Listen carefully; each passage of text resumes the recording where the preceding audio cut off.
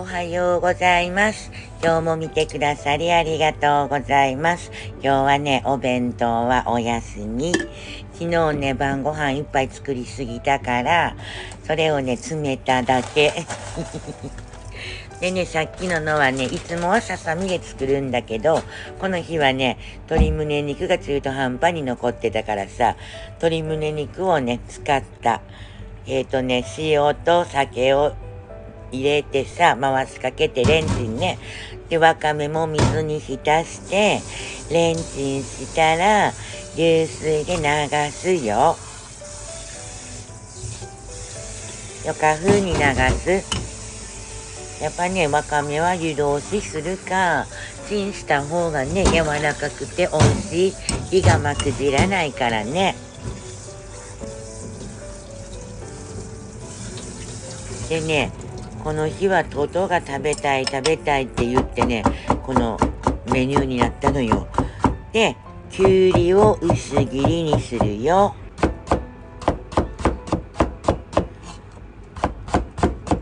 もうほんとさ、結局夏休みに入ってからお気に入りの市場に一回も行ってない。いつもさ、あの、娘の送り迎えの途中のところにある市場がさ、農家さんが作る、その日採れた野菜かな、持ってきてくれてね、立派でさ、しかもお安くて、うまいんだけど、結局一回も行かなかった。もうね、なんかね、やっぱなかなか出らんよね。でね、そこはさ、朝のうちも開店してね、同時ぐらいに行かないとさ、すぐ売り切れちゃうのよね。お昼から行っても。だから一回も行ってないけどね、また新学期が始まったらちょこちょこ寄ろうと思ってる。でね、私が喋ってる間に分量出ちゃったけど、まあ、いっから。書いてるからね。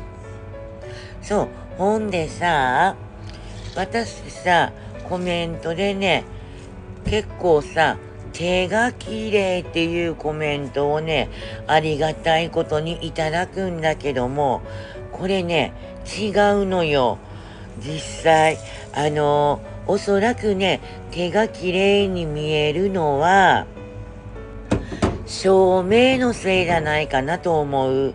やっぱね、本当の手はさ、本当の手って、嘘の手ってあるのって感じだけど、こう実際に見る手はさ、年相、もう52歳、もうすぐ53歳の手だから、あのね、シミもあったり、シワもあったりね、あの、年相応の手をしてるの。多分ね、だからこれ、照明の関係で、綺麗くね、見えてるんだと思うよ。ただね、私が一つね、気をつけてること、気をつけてるにはまあ理由があるんだけど、あの、お茶碗とか洗ったりとか、台所用のさ、食器用洗剤を使うよ。その後は、必ず、ハンドソープで手をね、洗ってる。なんかあの、食器用洗剤は強いような気がするから、なんかその後は必ずハンドソープで手を洗う。んで、クリームかなんかつけるって聞かれたら、つけない もうね、昔から言ってるけど、私手にクリームをつけたりさ、するのがとっても苦手なの。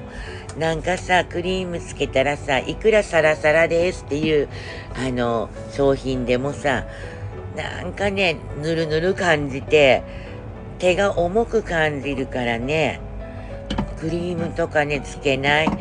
まあだから冬場になったら赤切れがするから、その時は小林製薬のなんかあれ、響けアをつけるぐらいかな。とにかくね、手を洗うのは癖なんだよね。もう、手はしょっちゅうハンドソープで洗ってるけど、そのハンドソープもさ、いいやつじゃなくて、ドラッグストアにさ、ある、私の場合コスモスなんだけど、コスモスのオリジナルブランドっていうの？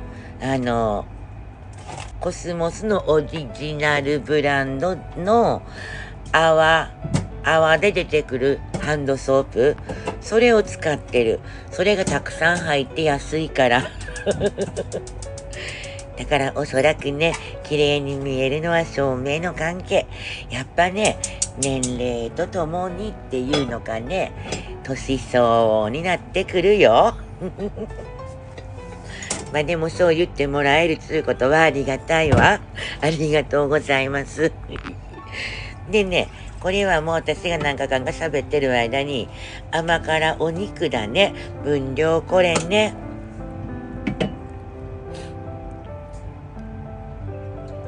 まあでもさ、今は何？いろんな加工があるよ。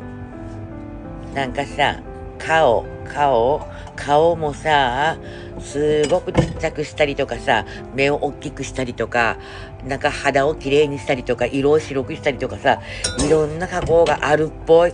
私は使い方がわかんないし、そのアプリ自体持ってないんだけど、加工ってすごいんだなって思った。なんかね、なんで見たのかな？加工ありと加工なしの画像をね、どっかでか見たんだけど、本当にね、あら、すごいわって、全然違うんだね。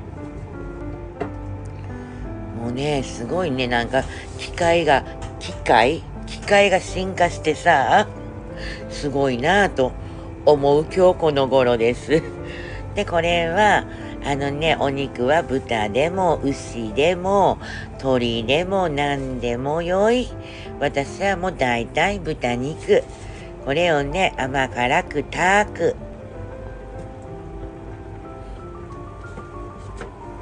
で最近まとめ買いになかなか行けずにさ私がもうちょっと時間の使い方が上手になればいいんだけどまとめ買いに行ったらさ午前中まとめ買いをしてくるよそしたら帰ってきてからそれを小分けするよほんでなんやらかんやらしておればさあの父やら母の病院に行く時間がなくなっちゃうからあのね時間の使い方が下手なのよのろまだから。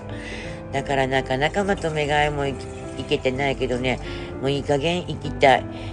まとめ買いの方がやっぱり経済的だ と思う。で、これはね、うどんだしを作ってる。でね、お出汁は千代の一番。もうこれがうまい。あれももしかしたらお出汁を作って終わりかな。どうだった？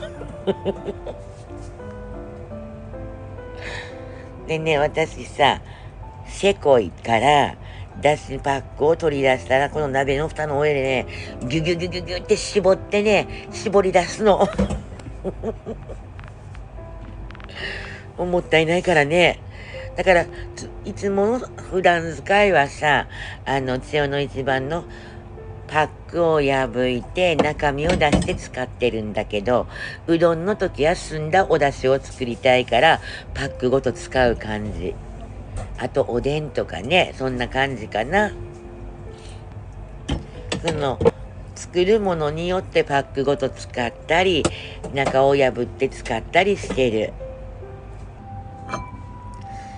そしたらね、この日のお稲荷さんはさ、もうね、既製品のちらし寿司の素と、あと味付けのお揚げを使ってね、あのー、簡単にっていうの？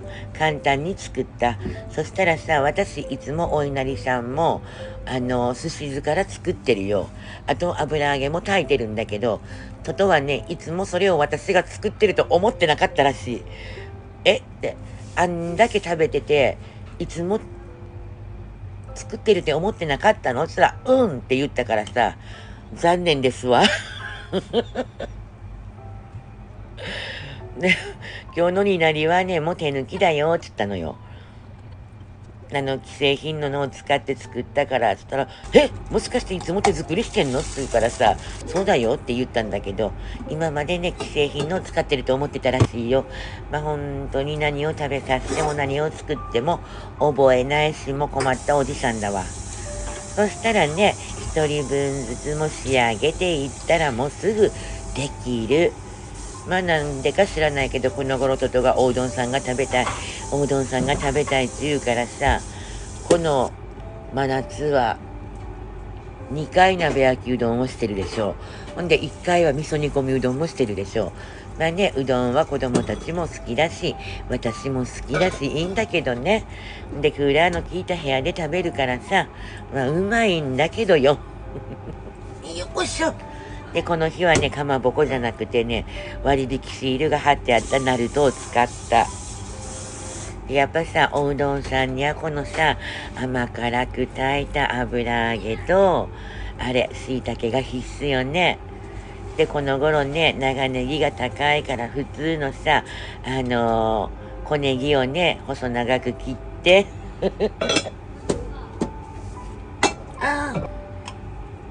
で、わかめもね、本当はさ、エビ天でもあればいいけど、天ぷらをするのが面倒で。丸亀製麺で買おうかと思ったけど、わざわざエビ天だけ買いに行くのも面倒で。でもこれがね、ぐつぐつぐつぐつたぎってきたらさ、卵を落としてね、私さ、いつもさ、あの、なんだっけ、温泉卵にしてるのよ。ガラガラせんでよかこと。もうこれでね、鍋焼きうどんも出来上がり。まあ、これは月曜日のご飯だったから、あの、異常な暑さの日だったけど、クーラーの効いた部屋で食べたら美味しかったです。で、材料と分量これね。また概要欄にも書いとくね。最後まで見てくださりありがとうございます。ではでは。